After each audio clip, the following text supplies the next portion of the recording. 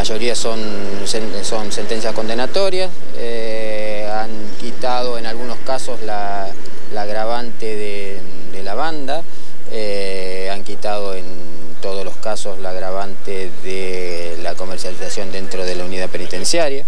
y bueno, las penas son acordes a la, más o menos a la calificación, más o menos cerca de los mínimos. Eh, la quita de esos agravantes tiene que ver con este, la no comprobación de, esa participación de, algunos de los acusados, doctor?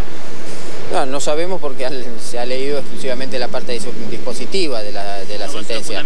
No se conoce todavía los fundamentos que, bueno, seguramente próximamente vamos Eh, doctor, ¿cree que no tomaron en cuenta, o por lo menos no de la manera que lo explicaba el defensor oficial con respecto al tema de las escuchas, de cómo estaban analizadas, de la denuncia que se relució durante este debate acerca de cómo se realizó la desgrabación de las mismas?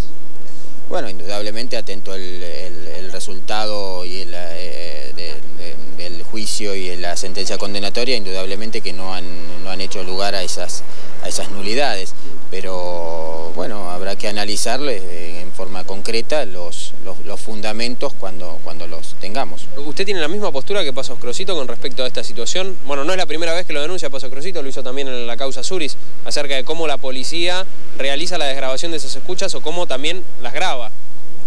Sí, no, no es el mismo plan, tengo, yo no estuve en el, en el tema Suris, no es, no, no es el mismo, tengo entendido el mismo planteo, no, no, no planteó el doctor Pasos, no me voy a meter en su estrategia, pero no, no, estimo que no planteó la, la nulidad de las, de las escuchas. Simplemente, claro, una interpretación eh, y bueno, y justamente la desgrabación y que se haga un análisis eh, en forma pormenorizada de esa desgrabación.